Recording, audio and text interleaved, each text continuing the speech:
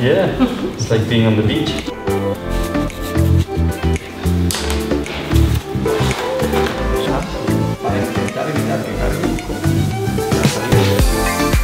I think it's always important at the, the beginning, at the end of the season as well, just to, to have a check like this to be able to see exactly how, how the alignment's looking on the bike, if there's any changes you need to make. I mean, obviously year on year, our bodies are changing. Um, just to check like this to check everything's tracking in line and see if there's any major, I guess, uh, red light, if, if you want to call it that, to, to see if there's anything that needs to be changed. Uh, it's an important part of the preparations for the year ahead.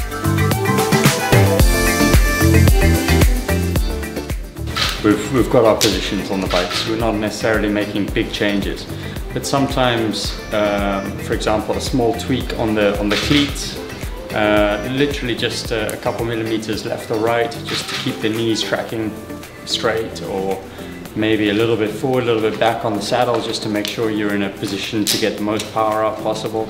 Um, it's, it's, it's something just worth staying on top of. Y luego pasamos 180. Vale. Vamos a ir aumentando ahora poco a poco.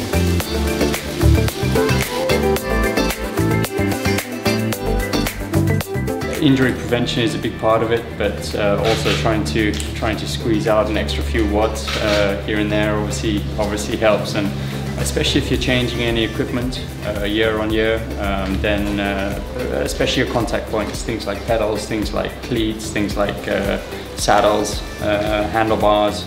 You, just want to be able to to make sure that uh, you're basically in, in, an optimal position uh, to to get the power out.